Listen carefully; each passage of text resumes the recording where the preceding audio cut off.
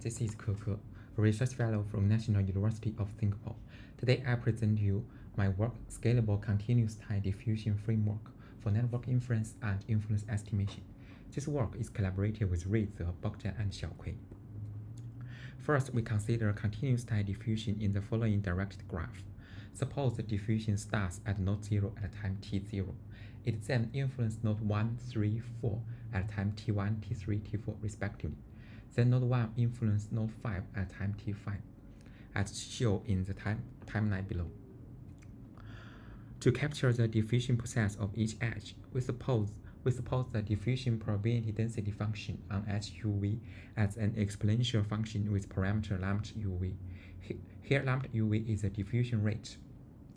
Figure 1 here give an illustration of function p to t by, by replacing lambda uv to 2.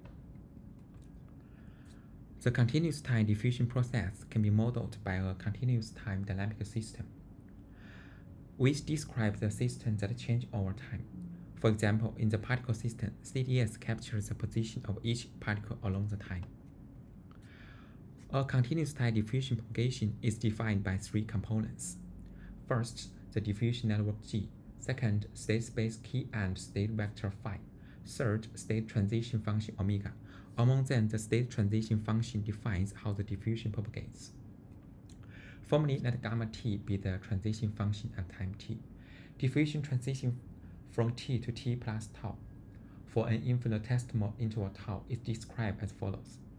Phi t plus tau equals to phi t plus tau times gamma t, where gamma t can be calculated as 1 minus phi t half product A transpose phi t. However, it is not practical to consider infinitesimal interval in real-world application. Therefore, we relax tau to an interval epsilon. Then uh, and propose a framework of diffusion uh, approximation, abbreviated as FIM. Equ then equation 1 and 2 are updated to equation 3 and 4 respectively. Here we have replaced tau here with epsilon. Then based on FIM, network, in, network inference aims to estimate the adjacent parameter matrix A. Based on the estimate estimated A, network, network estimation aims to estimate the influence of any node set S within the time t. If interested, please refer to our paper for more details. Thank you.